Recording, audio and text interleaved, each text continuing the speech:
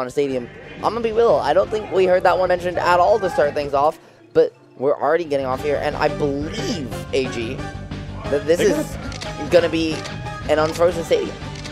Yeah, yeah. Uh, you could argue like the neutral or unneutral start, um, which is very funny because Gaius like has complained about it and then still just always runs up player one and four, like the same exact like situation every time. But you know, kind of feeling a little bit better here. Really moving around the platform as well. The problem is, you know, Zangarang, a storied Marth for sure. If you get caught in the disadvantage, again, you're gonna have a bad time. But right now, Gaius just staying in the advantage. Nice little hit of the up air, a little Matt.Zeb action. I was gonna say Gaius might like Nice. Zangarang might be a story in Marth, but Gaius already made one upset to make it this far, and is absolutely storming his way right to start off the next one, finding the wave shine to start another combo. And I always like to say, if you can wave shine, Falco's your dream character. True. If you can't wave shine, find anybody else to play. Yeah, it's, it's one of those characters like you watch a Falco move, and then if you're not a Falco aficionado, you pick up the character and you're like, wait, uh, what's going on? It's like, Why how is does my he- Falco? Ooh, that was he- such a good follow. I, I Ooh. don't. Like, the drop two to get the swing preemptively to then call you out with a full hop was so smart. And now you get the transformation where Marth can really get an awk- Wait, it's awkward for Marth to really convert the stocks unless you miss your tech off the tree, in which case. They're even laughing too because like in that situation, you're like, I don't want to tech right, I don't want to get forward smash. So you tech left, and you get forward smash off the tree, and then into the oh. spot where you would have been if you rolled right. I think Gaius is getting caught by a little bit of, of being ult-brained right now. You see Right. missing all of those techs in a row. And if you are used to teching in one game and you try to jump over to the other, it is incredibly difficult without a lot of warm-up. And we're seeing Gaius in the last set in this one as well drop most of them, find fun there, but definitely it's an adjustment that you have to keep note of throughout this set because Marth will take advantage. Okay. Does have some pretty good timing though on the up special. Unfortunately, gets the air to air center stage Gaius with a three stock to one lead right now. Going back to neutral and you know now that you have this lead to work with, those lasers are going to be even harder to deal with, right? Because you can run away with them. So instead, forcing the issue, really good mix up right there. The slide on off DI into the moonwalk on the Pokeball was just absolute juice in the movement by Gaius. He is going to drop the stock, doesn't get away from that tipper blade, but does get the grab for his troubles, and Marth has to deal with you off stage, get away from that down air because it's going to be utterly lethal if you cannot. Gaius tries to make it so, gets almost looks for the extension of the illusion, but doesn't quite find it. Yeah, almost had it. A few frames. Oh, good tech chase opportunity here. Doesn't get his guess right though. Okay, up, I love up air up tilt there. That's smart. And you know, this is one of those matchups, AG, where I feel like the level of melee we are seeing benefits a character like Falco, a player like Gaius hugely. Because Gaius' advantage states are all there, right? You can see that even though he's maybe not as clean and neutral as some of his opponents, you, he gets one or two advantage states, and he's blowing you up in those interactions to kill. Exactly, exactly. Everyone else we've seen in bracket so far has been playing a much more neutral focused game plan, playing a little bit higher on their interaction skill, and when you go up against a character like Falco, you just don't have that room to work with. Right. So I, I like the idea here, though. Going to Yoshi's, talk about some room to work with. Maybe not as spacious, but still very effective. Almost hit that down air. It's going to be just the up air is kind of doing it instead. Get him attacking. Hits after the delay.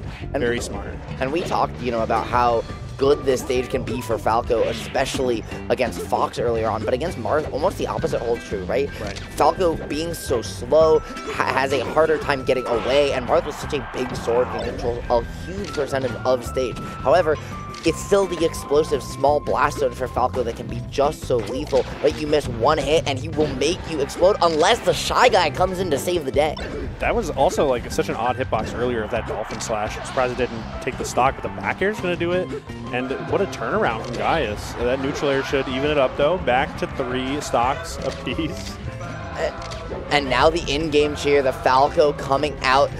Gaius, even the game wants to see him make a run. He might not be a melee player on paper, but he is absolutely one in the hearts. In our hearts, you don't find the extension there, but the F smash, the call out, and gonna look for the edge guard just doesn't find off the Dolphin Slash. Wow, very slight miss right there. And then look at this reversal, already running it back. Dash attack though, a little shallow. Okay, good grab. Should be able to follow it up with that neutral air, maybe a forward smash. Maybe the forward air instead. Good. It just I love the follow right now. A lot of good pressure. Forward air, keeping up that pressure, jab and a down air, or the dolphin slash, but they haven't been hitting, unfortunately. Yeah, the down air just again, right? This pressure from from Gaius so incredibly strong, but these illusions, my friend, have been like a short stack of pancakes. They taste so good, they work so well, until there's just not enough of them to get quite as much as you want going. Ooh, okay. Up tilt up tilt forward smash. Barely missed that side special punish though. Going back to it though. Look at that damage. Oh, Yeah, but again, here it is. Going for the down air there, an up air up special would have done it, but Guy is still cleaning it up regardless. 87% though, as you mentioned, AG. Percent climbing, one interaction now for Marth even to take the stock, looking for the down tilt, gets the grab reset. This chase has been immaculate as Zangarang is waking up in this game too. yeah, definitely a lot more comfortable. Love all of this offensive pressure we're seeing. The follow throughs have been lovely right there. Sneaking out of that combo.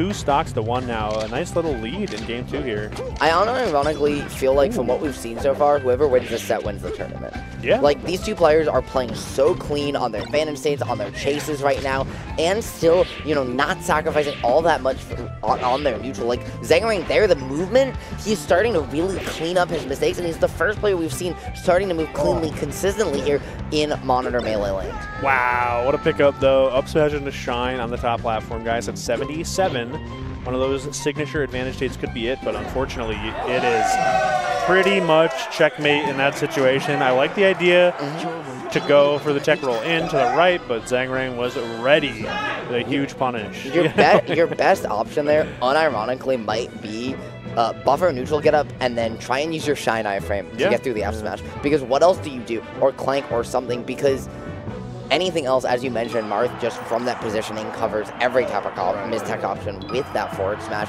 No matter how long you delay, it's just a wait on the action. But speaking of a wait, the wait's over here for game 3 AG. It's going to be Falco, it's going to be Marth, no changes around, and we're going to end it all on Dreamland.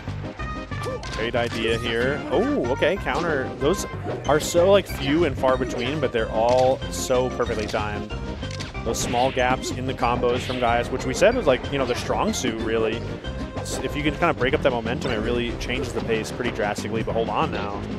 Gets the shield up for the F tilt. I like the idea of the F tilt there to find the shield poke, but a grab reset there would have just been absolutely lethal against Zangarang, who does get caught in the jab of his own, does find the grab though, now gets the juggle, looking for the chase, and finds it, AG. Once again, that movement, even when it doesn't allow you to continue the advantage, it lets you get another chance at the stock, but Guy has been, has been so efficient in these situations to at least force the issue, if nothing else. Yeah, unfortunately though, over 100 on the get up is not where you wanted to be, and then get punished with the most spectacular Oh, no. coast to coast forward smash. Got the check chases. Oh They're no! lock. He's not dropping them. He finds drops it there, but Gaius gets out in turn, and AG. These two players are pulling out all the stops. This is still best of three territory here in winners quarters. I mean, this is the set on the line. Oh, okay. Down air, neutral air should do it here. We got a pretty solid edge guard. Yep. I'm gonna say, the Gaius has been pretty good at those. I mean, there's some slight misses like the one we just saw earlier in the stock, but throughout the set, very good, very consistent.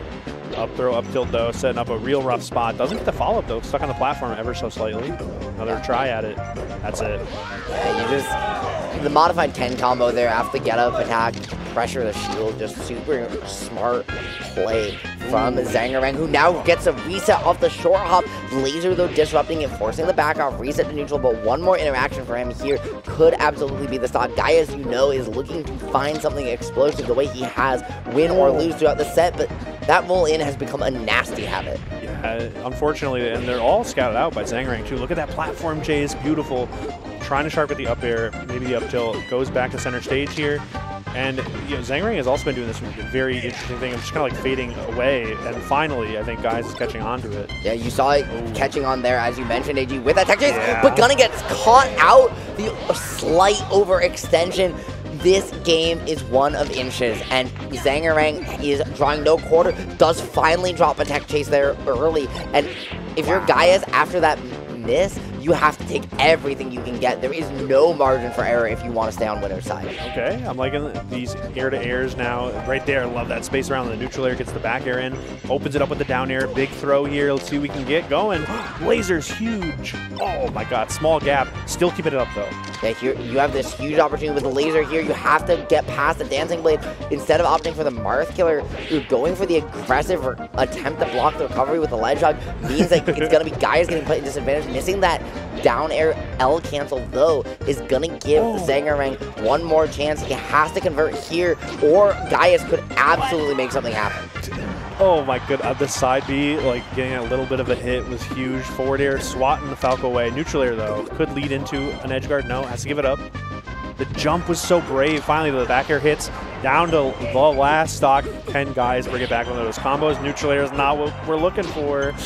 Hold on, no, he just didn't wiggle out of tumble, and Zangarang going down to secure it. He didn't need to do that, but it's not about what you need in Melee. It's about what you feel deep right. inside.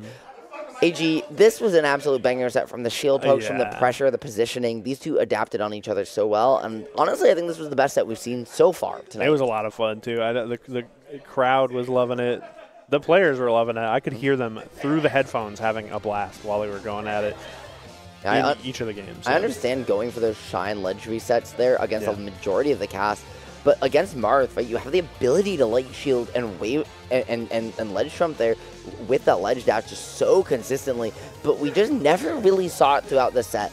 And I think it's something that if we had seen from Gaius, as well as I think this being the turning point of the set as a whole, just taking that stock out so incredibly fast. I mean, I, I feel like it could have gone another way. We just saw Gaius take a couple too many risks. Mm -hmm, mm -hmm. Yeah, I, I appreciate them. Mm-hmm. If they worked out, it would have been a totally different story. But it looks like you know, after an uncomfortable game one, a slightly uncomfortable, Zangarang was able to just like find the composure, the confidence too, and bring it all the way back. So great stuff. Great stuff indeed. And